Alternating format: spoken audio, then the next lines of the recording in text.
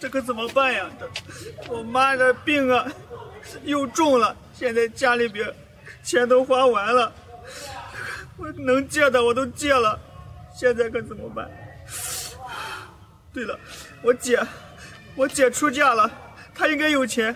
我那个姐夫挣的挺多的，不行，我去我姐夫家看看，就问他借点钱去。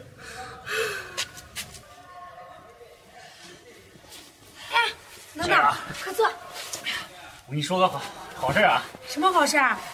我前两年不是投资那个工地吗？这都赚了，赚了二十万呢，还给了一套房子呢。二十万，还给了一套房子，能能，你真厉害啊！咱们咱们马上就可以过上好生活了，终于不用再在这个老地方了。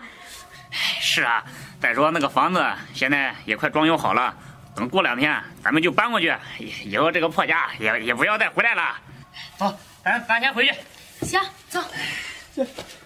姐，姐夫，呀，这不是你那个穷穷弟弟吗？你咋来了？姐。咱妈病了，这次病得很严重，现在家里的钱花完了，能借的我都借了。姐，能不能借我点钱给妈看病啊？你看，不是我说，弟弟，咱妈生病了就让她病着呗，上年纪了，生点病很正常啊，让她在家躺两天休息两天就好了，慌慌张张的干什么呀？就是啊，你说说你，你不是一直都是个大孝子吗？你你这，你妈生病了，你找我们借什么钱啊？姐，这妈的年纪大了，身子一天一天不如一天，现在啊，正躺在医院里都不能动了。姐，就借我点钱吧，咱妈真的是需要这笔钱去治病啊。你借钱借几块钱？呃，要是多了，我这可没有啊，能给你两块，你看看行不行啊？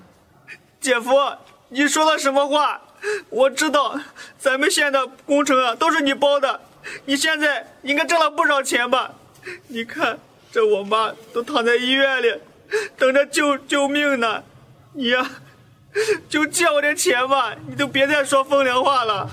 是啊，我是赚了不少钱，这不，这又赚了二十万，但是我不想借给你啊。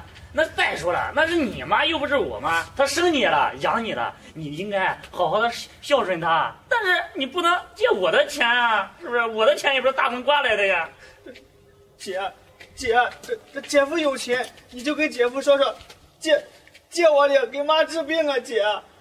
借钱？你这要借多少钱啊？姐，这次五万块钱，五万块钱就够了。什么？五万块钱，你这可真是狮子大张口啊！五万啊，其实啊，这也不多，但是啊，我有一个小小的要求，不知道你能不能完成？姐夫，你说，你说什么我都答应你。嗯，这样吧，你在这儿跪一天，我给你五万，并且还不用还了，怎么样？够意思吧？姐夫，你这。你这不是为难人吗，姐夫？你怎么着啊？你这愿意借还是不愿意借？你要是不愿意借，就别在这站着了，哭哭啼啼的。就是啊，你不是一直想当这个孝子吗？我给你机会了，哼，你别不中用啊！跪下，五万，五万块钱呢？这五万块钱，我估计你两年你打工也赚不到吧？哼，姐夫，我跪，我跪。那还等什么呢？跪下呀，等着过年啊！呦呦呦呦呦呦呦呦！哇，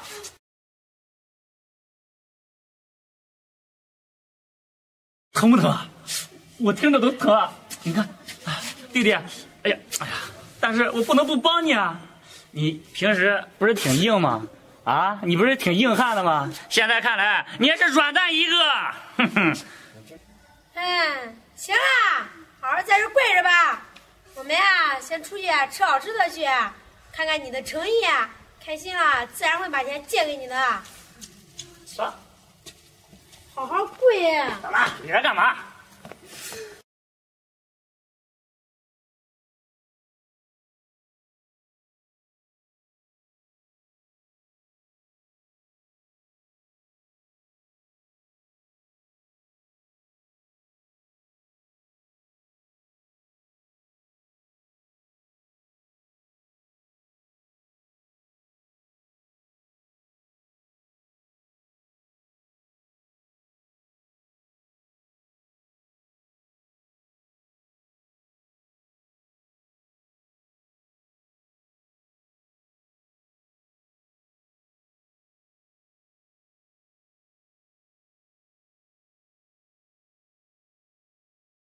哎呀，怎么那家鱼还好吃吧？挺好的。要呀，要要要要！哎呀，这是什么造型啊？挺别致啊，还在这跪着呢。累不累啊？你还是起来吧，这我看着都心疼啊。哎呀，看你看我看你能坚持多久？行了，别理他了，走回家。看那没出息的样。行了，能能，拿钱借给他吧，我看看啊你这孝心到底有多大。行，看他这样，哼，等着，我给你拿钱去。哎，好好在这跪着。嘘，哎，看到没？想要啊？哎，捡去吧。看啊你没出息的样，一一身窝囊废。记得把钱一分不少的还给我们。行了行了，走走。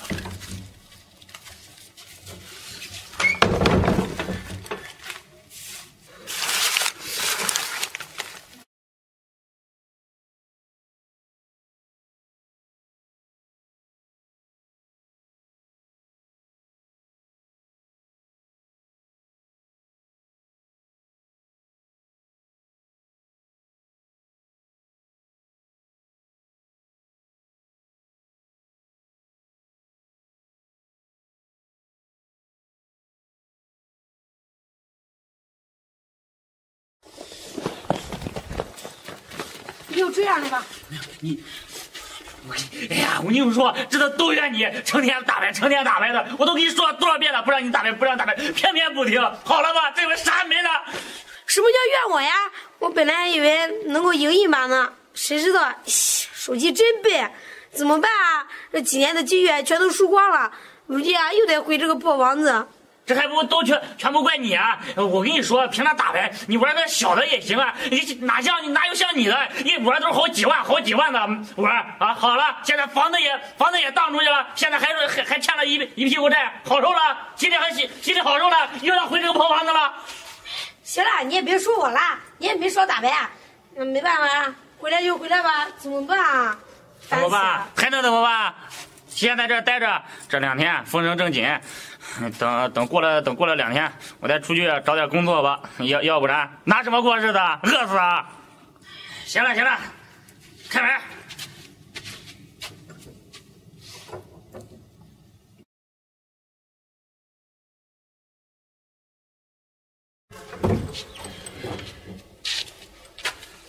行了，啊，这两天这追债的也没过来，看能不能出去找点工作。现在只能这样了，走吧，找工作去。走吧，没没说什么，里边啥都没有。走走走。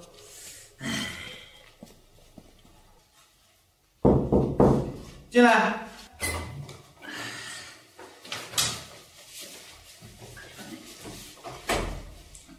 那个老板，我来应聘保安的。我来应聘保洁员的，你们应聘保安和保洁是吧？这是，是你？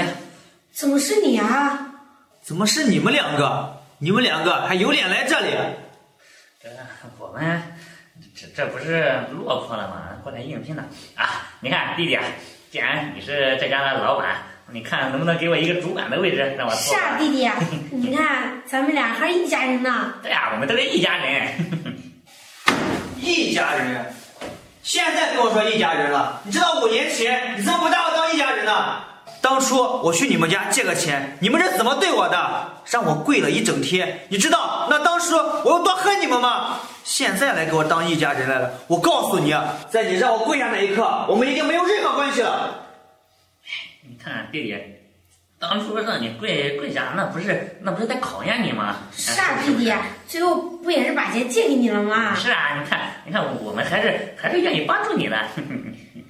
把钱借给我，当初那是我求来的，你以为是真心好意借给我的吗？当初我在那里跪了一整天，你们才给我那个钱，你以为一笔钱就能抵消我对你们的仇恨了吗？姐夫，你在我们家算是个外人，这事啊，我先不说你，姐，这事咱俩要说道说道。当年我去你家借钱的时候，那可是咱亲妈生病了，你是怎么做的？你居然不管不顾的，然后让我跪下来，你才借给我钱。姐，这是你个当姐的人该做的吗？这是你个当女儿的人该做的吗？你想想，当初你是怎么对我的？现在落魄了，没钱了，怎么了？来我这里，姐夫，你口气不小啊，还想当个主管？你以为在什么菜市场啊？我们知道错了，当初我们不应该那样对你。你看，你说的也对，我虽然是个外人，但是你姐嫁给了我，那也是我妈呀。唉，都是都是姐夫的不对，你就，你恨我，我也不说什么。但是你看，我们现在也落魄了，外边还欠了很多债，我们也也是走投无路呀。是啊，弟弟，当年姐那做实在是太过分了。行了，姐姐夫，我告诉你们，当初的事儿啊，的确你们做的不对，我当初也的确从你那借了钱，这钱今天我还给你们。我这里有一张卡，卡里有十万块钱，算我还你们的，里边算是利息。拿着钱走吧。弟弟，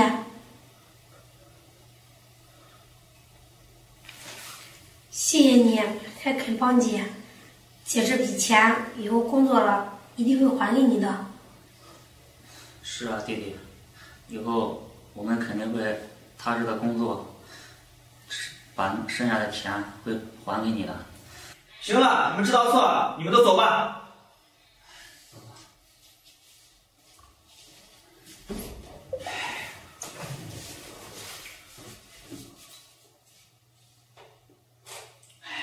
姐，姐夫，这事我只能帮你们到这里了。